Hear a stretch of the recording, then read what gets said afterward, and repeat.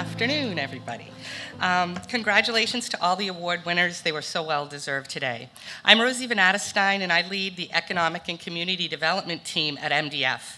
This team includes the Maine Downtown Center, the SEAMaine Project, Workforce Development, the FOR/Maine Coalition, as well as the grant and proposal writing team. And I'm excited to be presenting this award. As we know, rural communities and regions are the beating heart of Maine, and in turn, the Maine economy. Folks who keep these engines running often wear many different hats.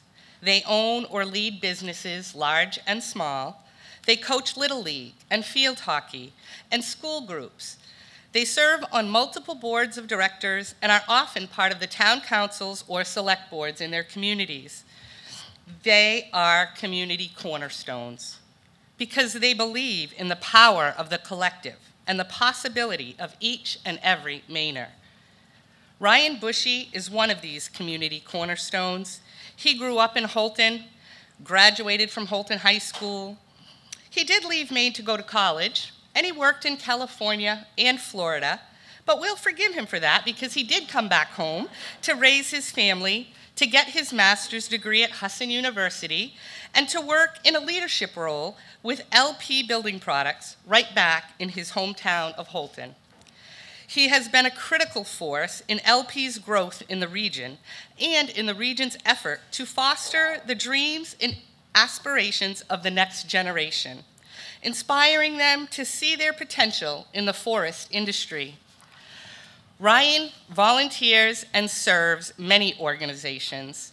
He serves FOR/Maine, which is the Forest Opportunity Roadmap Coalition, where he chairs the Workforce Committee, the Houlton Rotary, Northern Maine Community College Foundation, the Aroostook Partnership, and many others all while working as the manager of HR and safety for LP and raising two children with his wife. These are just some of the reasons why LP and Ryan specifically are the winners of this year's Champion of Rural Economic Development Award. Let's watch.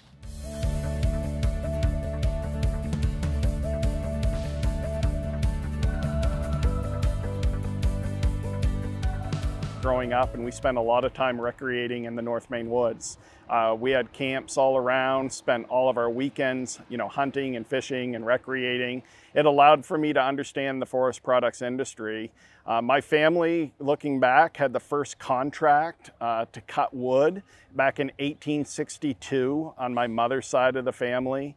Uh, so we've always been involved. My grandfather was an old school pulp cutter, you know, uh, hand crew, uh, bulldozers back before skidders and all that came evolved. What I've always enjoyed most are the people that are in this industry.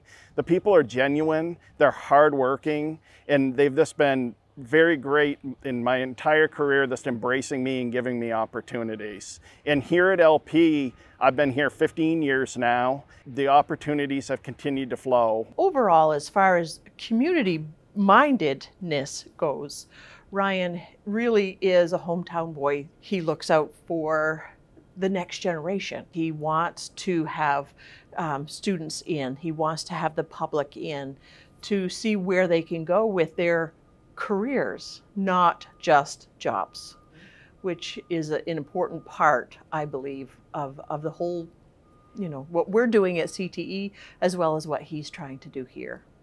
When the forest industry was retracting and the development groups were in somewhat in crisis trying to figure that out, I remember that Aroostook Partnership uh, started a forestry task force at the time. And the first person they thought that they had to have involved in that was Ryan. Like we need to have Ryan involved in that forestry workforce, uh, that task force, to try to transform what was going on with forestry, uh, logging, lumbering, wood supply, you know, the whole thing, the whole ecosystem. We're working towards making sure that our youth can understand and see the opportunities that are right in the backyards. So on the stump, you know, cutting the trees down, the mechanical uh, forest component of it, the CDL drivers, the mechanics that are needed, the little grocery store down on the corner, right? It's essential. They're selling the diesel fuel that all the trucks need. They sell the sandwiches that all of our drivers need. All of that is part of the big picture. When a big company from away says, we're going to invest millions of dollars in a community, you know, they've got places that they could do it other than Houlton, Maine. But they're doing it at Houlton, Maine because of the workforce that he's helped build out there.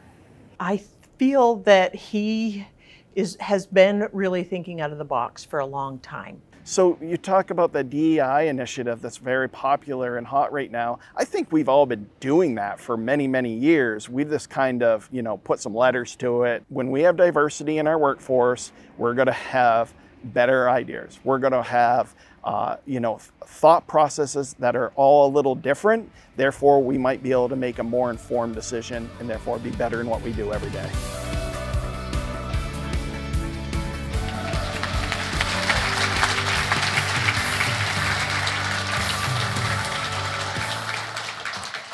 Congratulations to LP Building Products and Ryan Bushey on winning this year's MDF Champion of Rural Economic Development Award. Ryan was not able to be with us today. He is presenting at a conference in Wisconsin, and the senior leadership team from LP is hosting an All Employee Appreciation Day today and could not be here with us. Amy London, Director of Region 2 School of Applied Technology, who you heard from in the video, is with me on stage, and she'll be bringing the physical award back to Brian and his LP colleagues. Also with me here on stage is Billy Griffith, Senior Vice President of Community Banking from Katahdin Trust, the sponsor of this year's award. And they say, Katahdin Trust is proud to sponsor this award. As a large employer in Aroostook County, LP plays a significant role in the Aroostook County economy. We couldn't be happier for Ryan and the LP staff for achieving this recognition and award. It is well deserved.